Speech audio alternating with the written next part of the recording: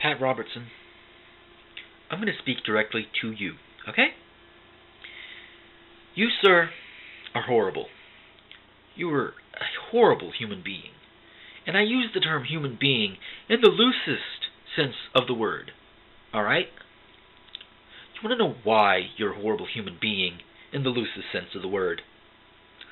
Because you take something like this earthquake that happened in Haiti, okay? Uh, I don't even know the death toll now, or even how many victims there are, but I'm sure it's in the thousands, if not millions. I don't know for sure. But it's a lot of people. You're taking that, and you're using that to, one, play the blame the victim game, which is a bullshit game to play to begin with, and you've played it before. Most notably, in my mind, 9 11 where you basically said, or at least agreed with Jerry Falwell on, that we deserved to have planes flown into our buildings. You said that. You know, don't deny it.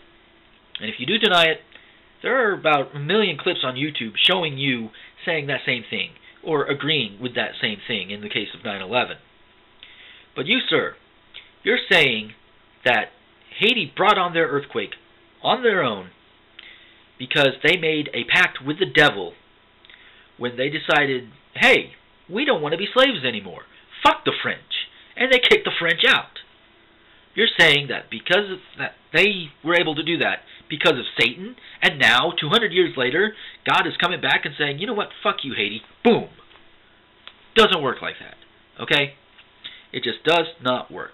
Pat Robertson, and as a side note, Fred Phelps, you're also under this while you haven't while you don't have your own show, of course, you're sending your lackeys out there to say that God's judgment upon Haiti for whatever contrived sins you can think of, you know, is they're going to burn in hell. So I'm putting you two in the same category where you belong.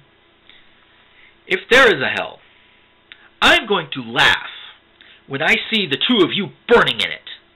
You will be in hell, sirs, if there is indeed a hell. And I will laugh.